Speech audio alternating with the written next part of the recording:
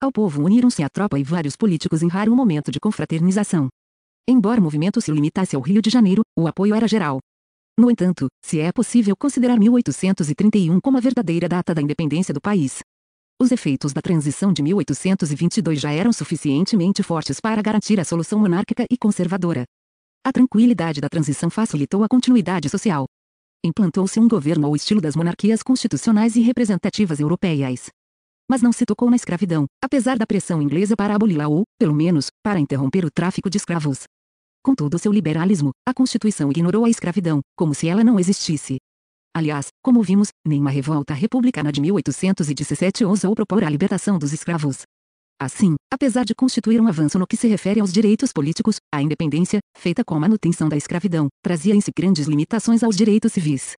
À época da independência, o Brasil era puxado em duas direções opostas, a direção americana, republicana, e a direção europeia, monárquica. Do lado americano, havia o exemplo admirado dos Estados Unidos e o exemplo recente, mais temido que admirado, dos países hispânicos. Do lado europeu, havia a tradição colonial portuguesa, as pressões da Santa Aliança e, sobretudo, a influência mediadora da Inglaterra. Foi esta última que facilitou a solução conciliadora e forneceu o modelo de monarquia constitucional, complementado pelas ideias do liberalismo francês pós-revolucionário. O constitucionalismo exigia a presença de um governo representativo baseado no voto dos cidadãos e na separação dos poderes políticos. A Constituição outorgada de 1824, que regeu o país até o fim da monarquia, combinando ideias de constituições europeias, como a francesa de 1791 e a espanhola de 1812. Estabeleceu os três poderes tradicionais, o executivo, o legislativo, dividido em Senado e Câmara, e o judiciário. Como resíduo do absolutismo, criou ainda um quarto poder, chamado de moderador, que era privativo do imperador. A principal atribuição desse poder era a livre nomeação dos ministros de Estado, independentemente da opinião do legislativo. Essa atribuição fazia com que o sistema não fosse autenticamente parlamentar, conforme o modelo inglês. Poderia ser chamado de monarquia presidencial, de vez que no presidencialismo republicano a nomeação de ministros também depende da aprovação do legislativo. A Constituição regulou os direitos políticos, definiu quem teria direito de votar e ser votado. Para os padrões da época, a legislação brasileira era muito liberal. Podiam votar todos os homens de 25 anos ou mais que tivessem renda mínima de 100 mil réis. Todos os cidadãos qualificados eram obrigados a votar. As mulheres não votavam, e os escravos, naturalmente, não eram considerados cidadãos. Os libertos podiam votar na eleição primária. A limitação de idade comportava exceções. O limite caía para 21 anos no caso dos chefes de família, dos oficiais militares, bacharéis, clérigos, empregados públicos, em geral de todos os que tivessem independência econômica. A limitação de renda era de pouca importância. A maioria da população trabalhadora ganhava mais de 100 mil réis por ano. Em 1876, o menor salário do serviço público era de 600 mil réis. O critério de renda não excluía a população pobre do direito do voto. Dados de um município do interior da província de Minas Gerais, de 1876, mostram que os proprietários rurais representavam apenas 24% dos votantes. O restante era composto de trabalhadores rurais, artesãos, empregados públicos e alguns poucos profissionais liberais. As exigências de renda na Inglaterra, na época, eram muito mais altas, mesmo depois da reforma de 1832. A lei brasileira permitia ainda que os analfabetos votassem. Talvez nenhum país europeu da época tivesse legislação tão liberal. A eleição era indireta, feita em dois turnos. No primeiro, os votantes escolhiam os eleitores, na proporção de um eleitor para cada 100 domicílios. Os eleitores, que deviam ter renda de 200 mil réis, elegiam os deputados e senadores. Os senadores eram eleitos em lista tríplice, da qual o imperador escolhia o candidato de sua preferência. Os senadores eram vitalícios, os deputados tinham um mandato de quatro anos, a não ser que a Câmara fosse dissolvida antes. Nos municípios, os vereadores e juízes de paz eram eleitos pelos votantes em um só turno. Os presidentes de província eram de nomeação do governo central. Esta legislação permaneceu quase sem alteração até 1881. Em tese, ela permitia que quase toda a população adulta masculina participasse da formação do governo. Na prática, o número de pessoas que votavam era também grande, se levados em conta os padrões dos países europeus. De acordo com o censo de 1872, 13% da população total, excluídos os escravos, votavam. Segundo cálculos do historiador Richard Graham, antes de 1881 votavam em torno de 50% da população adulta masculina. Para efeito de comparação, observe-se que em torno de 1870 a participação eleitoral na Inglaterra era de 7% da população total, na Itália, de 2%, em Portugal, de 9%, na Holanda, de 2,5%. O sufrágio universal masculino existiu apenas na França e na Suíça, onde só foi introduzido em 1848. Participação mais alta havia nos Estados Unidos, onde, por exemplo, 18% da população votou para presidente em 1888. Mas, mesmo neste caso, a diferença não era tão grande. Ainda pelo lado positivo, note-se que houve eleições ininterruptas de 1822 até 1930. Elas foram suspensas apenas em casos excepcionais e em locais específicos. Por exemplo, durante a guerra contra o Paraguai, entre 1865 e 1870, as eleições foram suspensas na província do Rio Grande do Sul, muito próxima do Teatro de Operações. A proclamação da República, em 1889, também interrompeu as eleições por muito pouco tempo, elas foram retomadas já no ano seguinte. A frequência das eleições era também grande, pois os mandatos de vereadores e juízes de paz eram de dois anos, havia eleições de senadores sempre que um deles morria. E a Câmara dos Deputados era dissolvida com frequência. Este era o lado formal dos direitos políticos. Ele, sem dúvida, representava grande avanço em relação à situação colonial. Mas é preciso perguntar pela parte substantiva. Como se davam as eleições? Quem significavam elas na prática? Que tipo de cidadão era esse que se apresentava para exercer seu direito político? Qual era, enfim, o conteúdo real desse direito? Não é difícil imaginar a resposta. Os brasileiros tornados cidadãos pela Constituição eram as mesmas pessoas que tinham vivido os três séculos de colonização nas condições que já foram descritas. Mais de 85% eram analfabetos, incapazes de ler um jornal, um decreto do governo, um alvará da justiça, uma postura municipal. Entre os analfabetos incluíam-se muitos dos grandes proprietários rurais. Mais de 90% da população vivia em áreas rurais, sob o controle ou a influência dos grandes proprietários. Nas cidades, muitos votantes eram funcionários públicos controlados pelo governo. Nas áreas rurais e urbanas, havia ainda o poder dos comandantes da Guarda Nacional, a Guarda era uma organização militarizada que abrangia toda a população adulta masculina. Seus oficiais eram indicados pelo governo central entre as pessoas mais ricas dos municípios. Nela combinavam-se as influências do governo e dos grandes proprietários e comerciantes. Era grande o poder de pressão de seus comandantes sobre os votantes que eram seus inferiores hierárquicos. A maior parte dos cidadãos do novo país não tinha tido prática do exercício do voto durante a colônia. Certamente, não tinha também noção do que fosse um governo representativo, do que significava o ato de escolher alguém como seu representante político. Apenas pequena parte da população urbana teria noção aproximada da natureza e do funcionamento das novas instituições. Até mesmo o patriotismo tinha alcance restrito. Para muitos, ele não ia além do ódio ao português, não era o sentimento de pertencer a uma pátria comum e soberana.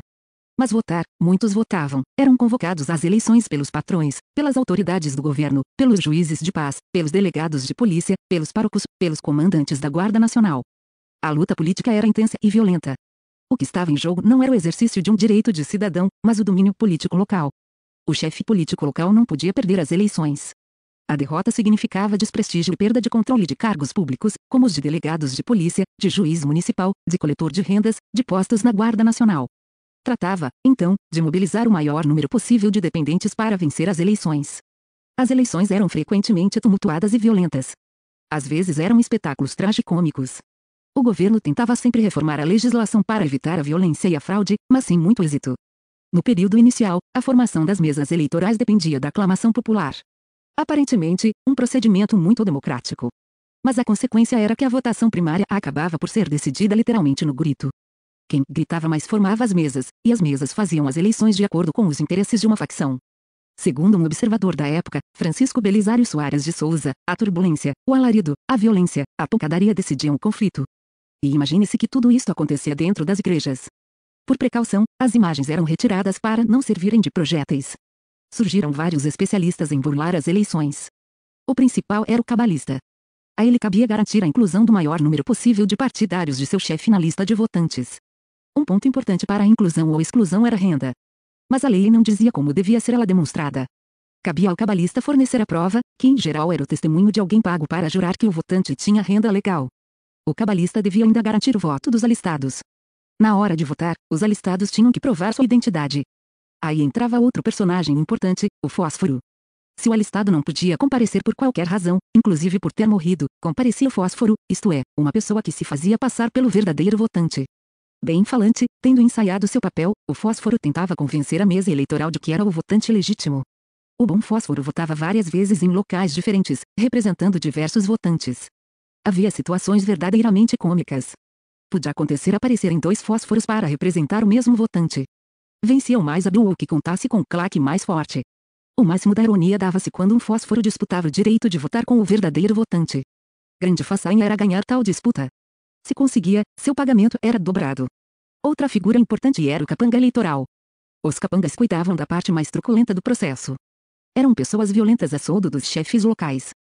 Cabia-lhes proteger os partidários e, sobretudo, ameaçar e amedrontar os adversários, se possível evitando que comparecessem à eleição. Não raro entravam em choque com capangas adversários, provocando os rolos eleitorais de que está cheia a história do período. Mesmo no Rio de Janeiro, maior cidade do país, a ação dos capangas, frequentemente capoeiras, era comum. Nos dias de eleição, bandos armados saíam pelas ruas amedrontando os incautos cidadãos. Pode-se compreender que, nessas circunstâncias, muitos votantes não ousassem comparecer, com receio de sofrer humilhações. Votar era perigoso. Mas não acabavam aí as malandragens eleitorais. Em caso de não haver comparecimento de votantes, a eleição se fazia assim mesmo. A ata era redigida como se tudo tivesse acontecido normalmente. Eram as chamadas eleições feitas a bico de pena, isto é, apenas com a caneta. Em geral, eram as que davam aparência de maior regularidade, pois constava na ata que tudo se passara sem violência e absolutamente de acordo com as leis. Nestas circunstâncias, o voto tinha um sentido completamente diverso daquele imaginado pelos legisladores. Não se tratava do exercício do autogoverno, do direito de participar na vida política do país, Tratava-se de uma ação estritamente relacionada com as lutas locais. O votante não agia como parte de uma sociedade política, de um partido político, mas como dependente de um chefe local, ao qual obedecia com maior ou menor fidelidade. O voto era um ato de obediência forçada ou, na melhor das hipóteses, um ato de lealdade e de gratidão. À medida que o votante se dava conta da importância do voto para os chefes políticos, ele começava a barganhar mais, a vendê-lo mais caro. Nas cidades, onde a dependência social do votante era menor, o preço do voto subia mais rápido. Os chefes não podiam confiar apenas na obediência e lealdade, tinham que pagar pelo voto. O pagamento podia ser feito de várias formas, em dinheiro, roupa, alimentos, animais. A crescente independência do votante exigia também do chefe político precauções adicionais para não ser enganado. Por meio dos cabalistas, mantinha seus votantes reunidos e vigiados em barracões, ou currais, onde lhes dava farta comida e bebida, até a hora de votar. O cabalista só deixava o votante após ter este lançado seu voto. Os votantes aprendiam também a negociar o voto com mais de um chefe. Alguns conseguiam vendê-lo a mais de um cabalista, vangloriando-se do feito. O voto neste caso não era mais expressão de obediência e lealdade, era mercadoria a ser vendida pelo melhor preço. A eleição era oportunidade para ganhar um dinheiro fácil, uma roupa, um chapéu novo, um par de sapatos. No mínimo, uma boa refeição. O encarecimento do voto e a possibilidade de fraude generalizada levaram a crescente reação contra o voto indireto e a uma campanha pela introdução do voto direto, da parte de alguns políticos, havia interesse genuíno pela correção do ato de votar. Incomodava-os, sobretudo, a grande influência que o governo podia exercer nas eleições por meio de seus agentes em aliança com os chefes locais. Nenhum ministério perdia eleições, isto é, nenhum se via diante de maioria oposicionista na Câmara. Nenhum ministro de Estado era derrotado nas umas. Para outros, no entanto, o que preocupava era o excesso de participação popular nas eleições. Alegavam que a culpa da corrupção estava na falta de preparação dos votantes analfabetos, ignorantes, inconscientes.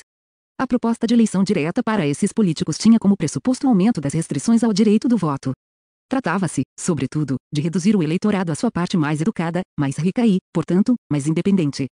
Junto com a eliminação dos dois turnos, propunham-se o aumento da exigência de renda e a proibição do voto do analfabeto.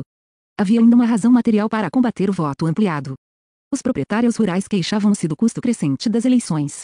A vitória era importante para manter seu prestígio e o apoio do governo.